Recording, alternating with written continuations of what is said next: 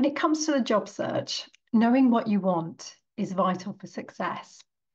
Now, whilst this might seem counterintuitive, the starting place is to understand what you don't want. Assessing your feelings and why you have them in your current job will answer this for you.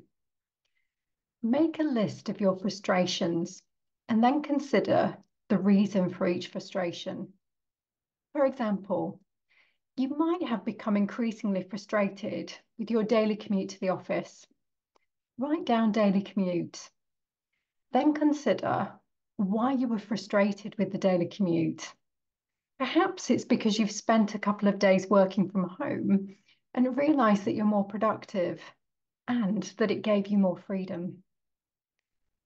Maybe a frustration is that your daily tasks have become repetitive. The reason for that frustration might be that you're experiencing boredom and need a new challenge.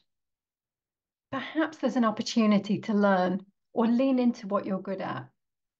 Perhaps you've reached expert status in your role and have stopped learning.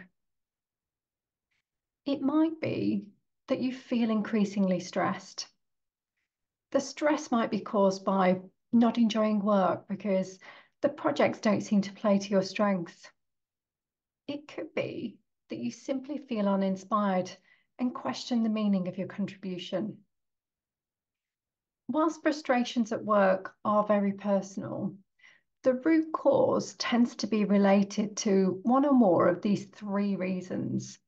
The first, boredom, which encompasses not playing to your strengths and lack of learning. Second, the yearning for meaning. And third, the need for freedom. If thinking about frustrations leaves you blank, try asking yourself three questions. What do I find boring in my job? How do I contribute to the greater good with the work that I do? How free do I feel in my job? To feel fulfilled in your next role, you need to eliminate the frustrations, otherwise, they will resurface. And so, translate your listed frustrations into positives for your new job search.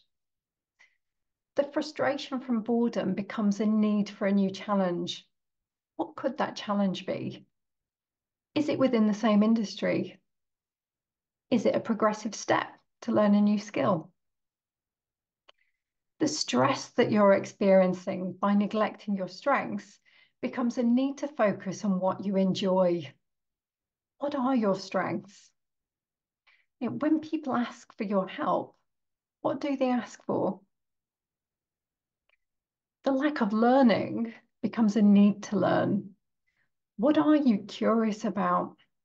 What do you want to learn?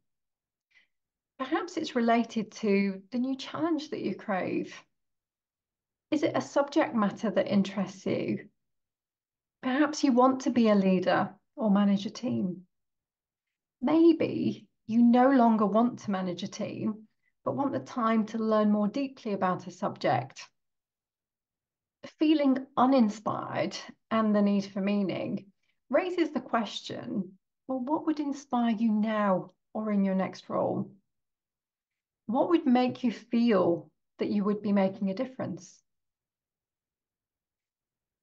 The commute frustration becomes you want a job where you have the freedom to work from home. You know, are there other freedoms that you crave? In listing out the positives from your frustrations, you start to build a picture of the new elements you need in a job. Sit with these elements, question them, expand on what they look like, you'll start to form a picture of a role and the key pillars. Try not to get into the level of job title detail because this can be really restrictive. The same job can have many different titles.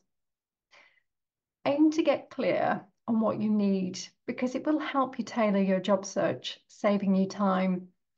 It will also help you to effectively articulate what you're looking for in your CV and communicate your needs with recruiters and prospective employers. get to know your frustrations and pull out the wisdom to help you find a fulfilling next job.